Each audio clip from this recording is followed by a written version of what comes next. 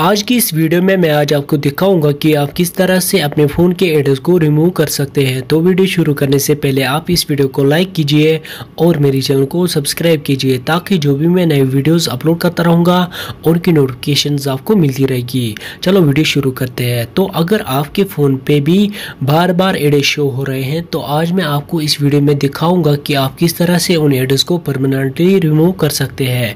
Address को remove करने के लिए पहले आपको अपने फ़ोन के सेटिंग्स में चले जाना है। सेटिंग्स में चले जाने के बाद फिर आपको यहाँ से स्क्रॉल डाउन करना है। स्क्रॉल डाउन करने के बाद फिर आपको एक ऑप्शन आ जाएगा गूगल का तो आपको उस पर क्लिक कर देना है। गूगल पे क्लिक कर देने के बाद फिर आपको और एक ऑप्शन आ जाएगा एड्रेस का तो आपको एड्रेस पे क्लिक कर देना है।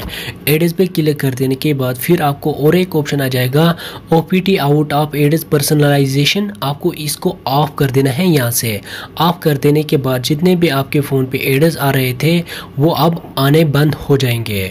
तो इस तरह से आप अपने फ़ोन के एड्रेस को रिमूव कर सकते हैं। तो अगर आपको ये मेरा वीडियो पसंद आया आएगा तो प्लीज़ आप इस वीडियो को लाइक कीजिए और मेरे चैनल को सब्सक्राइब कीजिए। Thank you for watching my videos